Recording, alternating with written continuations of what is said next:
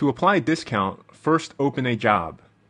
Click on the Job's Estimate tab and build the estimate as you normally would by adding products and services.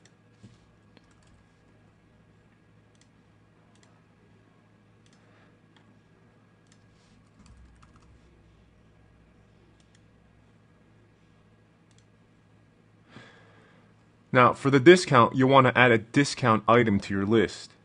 To do this, you're going to add an item, and you're going to click the green plus sign next to the drop-down list. Select either a discount or a discount percentage. The difference is that the discount is a dollar amount discount. The discount percentage will take a percentage off the item. So I'm going to go ahead and do a discount percentage. I'm going to make it a sub-item of discounts and I'm going to call this half off.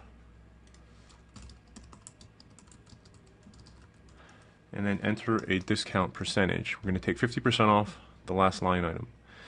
And we're going to save it and add this to the estimate. And as you can see, it only takes half off the last item. So it doesn't take half off the entire estimate or invoice, it just takes half off the last item. click save and that's it